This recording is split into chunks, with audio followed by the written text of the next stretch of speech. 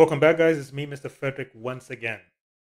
And today, in this lesson, we're gonna learn to take the, you know, the slope-intercept form and turn it into the standard form. Okay. So the standard form we have is here: ax plus by equals c.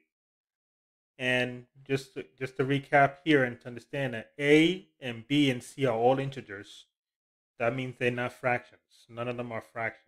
Okay, so the form has to have no fraction in it. And also to understand here, you want to be reminded that a, which is this first part here, must be positive. Okay, those are the rules to understand for that one. So here we have a slope intercept form, and we need to change the standard form. So how do we do that? So we get y equals 3 over 5 x plus 4. Right? So one of the first things I would do is I will multiply the 5 with the y.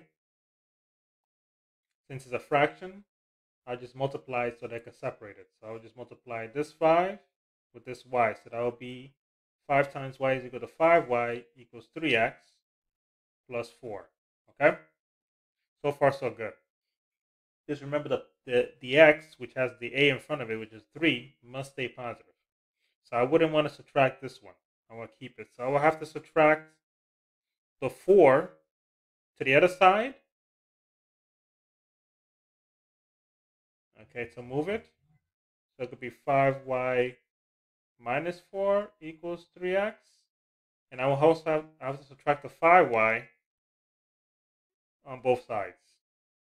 So that I can end up having um, negative 4 is equal to 3x with the a positive minus 5y.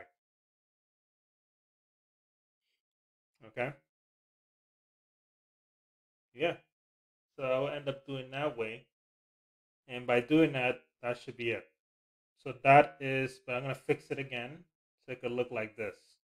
So it'll be 3x minus 5y is equal to negative 4. All right. And we that's that matches ax plus by equals c. As long as a is positive, the rest of the problem could be like that. Okay? So that's how you solve it and change it from a slope intercept form to standard form. All right, that's Miss, this is Mr. Frederick, and see you in the next one.